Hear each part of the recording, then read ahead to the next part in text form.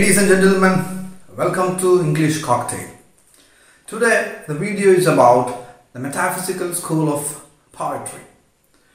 Metaphysical is a word that is originally connected with a school of philosophy, the Metaphysical School of Philosophy, which uh, deal, deal with uh, um, abstract topics which are beyond or metaphysical.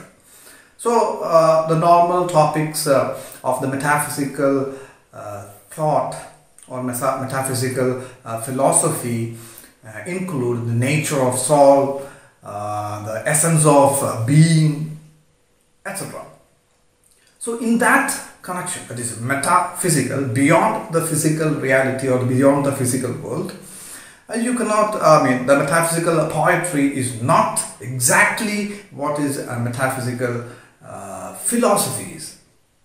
But there is a bit of connection in connection with the metaphysical in metaphysical school of poetry.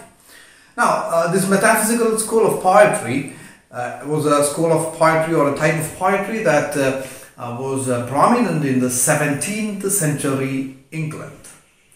And here, uh, what is metaphysical is because of the high intellect nature of these poetry. They were highly intellectual, these uh, poems that belong to the metaphysical school. Highly intellectual in the sense that uh, uh, there is no, uh, you cannot immediately identify a direct relationship between the thought and the expression or the idea and, uh, and the figures of speech employed or uh, the kind of what you would call uh, images, uh, pen pictures as we commonly uh, call, to uh, the uh, core idea. So this relationship is beyond the physical. If you want to understand what the poet uh, really uh, means uh, by these uh, kind of uh, artistic images or artistic uh, elements, we need to transcuss the, uh, the physical. Beyond the physical, immediate connection, there is a very deep, intellectually set base which connects the image as well as the idea. And this particular uh, feature, which is uh, based on logic and reason, makes the poem metaphysical or beyond the immediate physical connection. So, the magnificent bond between uh, image and uh, the concept is established uh, with logic, reason, and often uh, by applying the scientific concepts which were prevalent in the 17th century. So, it is metaphysical. For example, I mean, uh, basically, it is because of the, as I told you before, it is because of the high intellectual, highly intellectual nature of this uh, poetry. Now, for example, in the poem, uh, The Flea by John Donne, it's about a flea uh, which first sucks the blood of the speaker, then flies on to his beloved and sucks blood from her, her uh, body, and she feels itch. Itch, I mean, you know, she feels the itch and she uh, wants to kill it. So he's about, she is about to kill that particular uh, insect. At that moment, the, poem, the poet or the speaker says, You should not do that because that is our marriage bed. So that is a kind of a uh, uh, metaphysical imagery. She, it is that insect is our marriage bed where uh, we are united. We become, we are united as a single uh, body and soul. So how is that possible? So immediate physical relationship is not established there, but as we go through the poem, as we enter into the various arguments, we, we, we see that according to the Christian uh, religious sense, marriage unites man and woman. And it is a marriage bed uh, where they become, they share the uh, flesh and blood, and they thereby they become one as a single entity. So in that, if, if by uh, by relating that concept to the act of sucking blood from uh, the lover's body by the insect. Inside insect, the blood of the lover, the speaker, as well as his uh, sweetheart are mingled and thereby they are united in the body of this particular insect. So, so logic, with the help of logic, with the help of uh, uh, that particular kind of reasoning, John Donne establishes how beautifully uh, the flea, an insect, becomes the marriage blood or, or a particular bo- a body or a stage where both the lovers unite and become one. Today we call the particular type of poetry metaphysical poetry, the kind of poetry popularized by poets like Donne, Marvell, and others. But they did never know that they were metaphysical poets.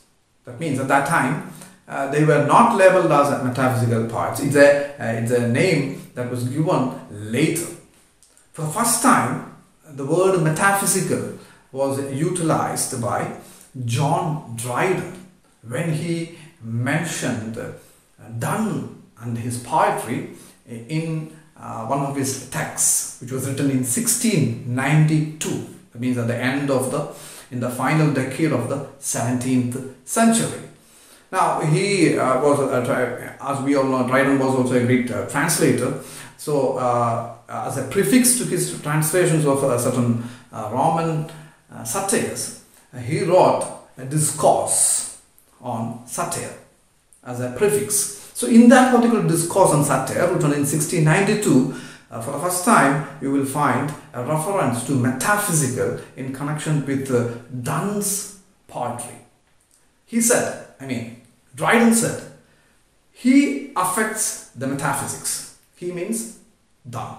Donne affects the metaphysics. That is the first time uh, the term metaphysics is connected with the uh, particular type of poetry. Again, one century later, the label was given metaphysical poetry to the type of poetry written by Donne and others by none other than other than Dr. Samuel Johnson, the unquestionable authority of the time. In his uh, famous Lives of Poets, uh, it's a, biographical sketch of uh, literary career of various uh, eminent poets from England, uh, which include uh, poets like Milton. So, in that particular work, there is a particular part dealing with the life of Cowley, Abraham Cowley. And in that particular portion, Dryden, sorry, Dr. Johnson defines the kind of poetry uh, that was followed by Cowley. He called it metaphysical poetry. And he said, or he defined in a very, very derogatory sense that metaphysical poetry is a kind of poetry where the most heterogeneous ideas are yoked together with violence. So that was uh, the definition, that was the idea of uh, Dr. Johnson who was unquestioned, who was the greatest authority of criticism uh, in the neoclassical period.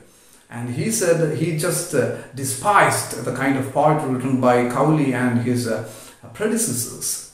So uh, it is a kind of a poetry where most heterogeneous, heterogeneous means totally different, heterogeneous ideas are yoked together, just like yoking or by force putting two ox, two oxen to uh, plow.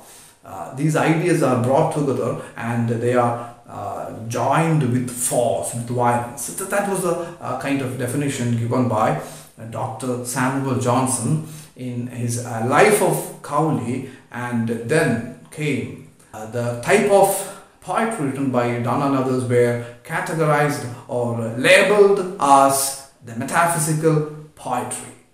And interestingly, many of these uh, poets who are now put into the school of metaphysical uh, poetry were uh, totally uh, unknown of each other's poetry. Personally, they may be, uh, they may have heard about the other person, but uh, many of them were totally strangers to others' writings. But today, we collect them all under the heading Metaphysical School and Metaphysical School of Poetry, Metaphysical Poets, etc. And uh, after Dr. Johnson's uh, chastisement of uh, metaphysical uh, school of poetry, gradually their popularity diminished because, as I told you, Dr. Johnson was the greatest authority and uh, the coming the following generations also followed Johnson's suit and gradually they were pushed into oblivion until in the 20th century in 1921 T.S. Eliot wrote a, a seminal essay titled The Metaphysical Poets which brought back Donne and others into the mainstream uh, in uh, both in the scholastic level as well as in the popular uh, readership level. So it was a kind of a resurrection brought towards the metaphysical school of poetry by Thomas Stearns Eliot in 1921 uh, with his uh, particular essay titled The Metaphysical Poets.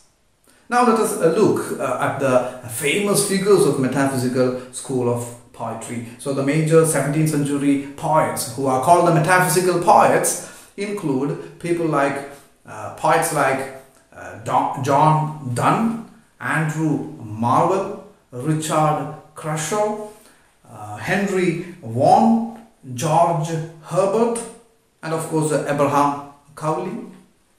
Finally, let us look at the major features of the metaphysical poetry. So, as I told in the beginning, the most important feature is, of course, the highly intellectual conception of uh, the images, uh, the ideas, figures of speech, etc. in the poem. Now, uh, I gave an example from uh, the flea, how the flea becomes uh, uh, the marriage bed of the poet and the mistress, how it becomes a, it, a, place where both the souls are joined. He also later says in the poem that you, if you if you kill that flea, you will uh, commit three murders. Three murders. One of the flea itself, the insect. Second is of uh, the speaker because his blood is inside the insect. And third is suicide because the flea has also sucked blood from her body. So suicide is one of the most uh, uh terrible crimes from the uh, Christian point of view uh, because God has forbidden to kill oneself. So that's a kind of a highly intellectual uh, way of uh, presenting an idea. Now, second is unification of uh, uh sensibility.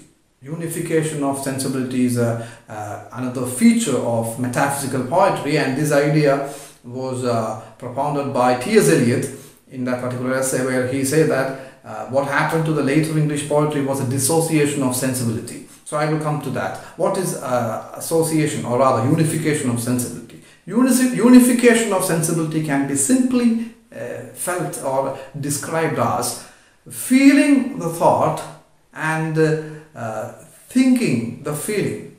That means feeling and thought are merged together. They appear inseparable.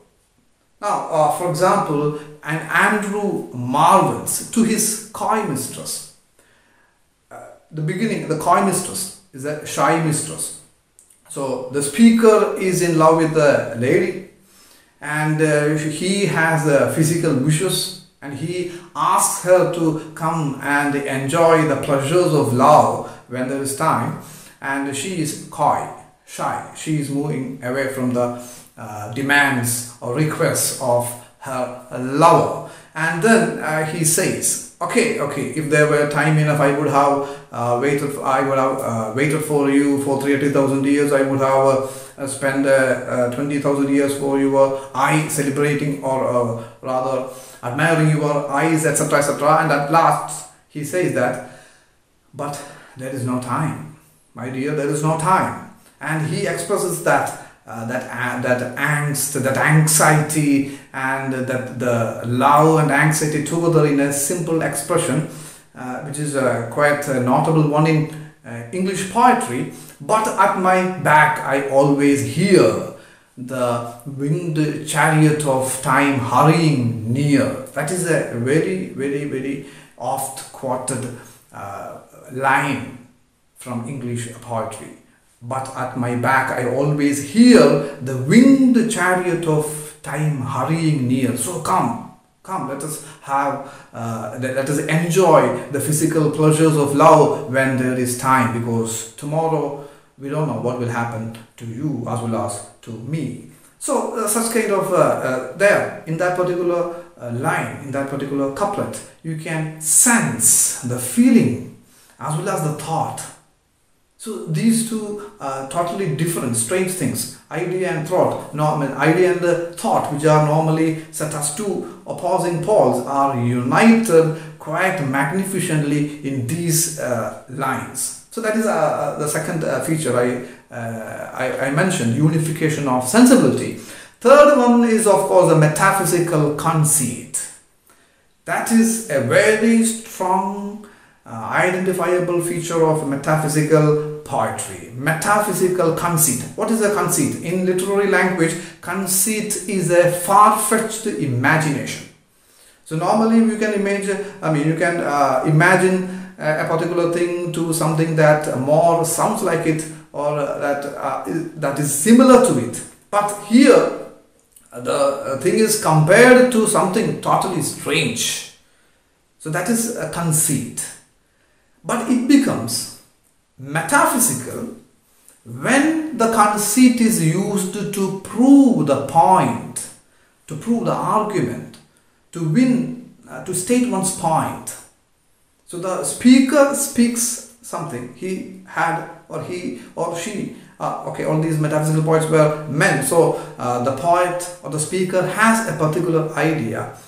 He wants to convince that idea, and in order to make it, what he does is the usage or application of a conceit. So the conceit or far-fetched images or far-fetched comparisons are used to uh, used for argument's sake, used to prove a particular point. So that is a metaphysical conceit. And uh, uh, another uh, feature of uh, uh, metaphysical poetry is its, its high wit quality with its usage of irony and paradox.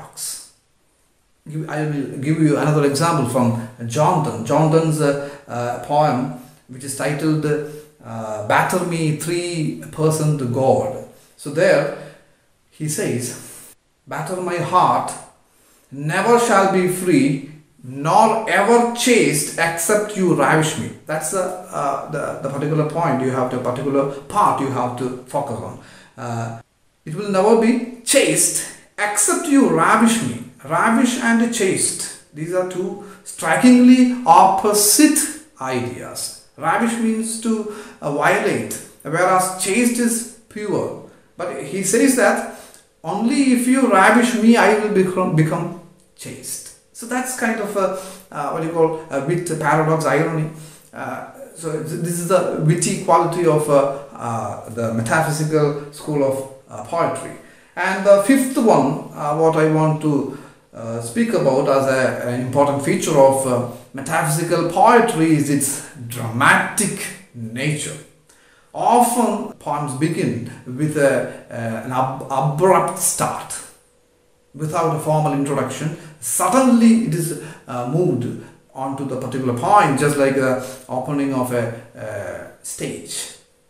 For example, again in Donne, let me go back to Donne once again and in Valediction Forbidding Mourning, he says it, it opens uh, with the lines for God's sake, hold your tongue and let me love.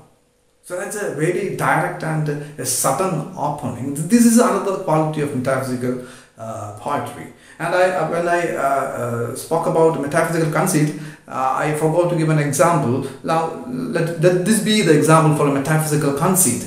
Uh, again, in the same poem, Valediction Forbidding Mourning, the poet compares lovers to a compass lovers to a compass. So it's a conceit. Lovers cannot be uh, like a compass. How can you compare a lover to, I mean, a pair of lovers to a pair of a compass? How is it possible? Now here it is made possible. Compass has a two hands.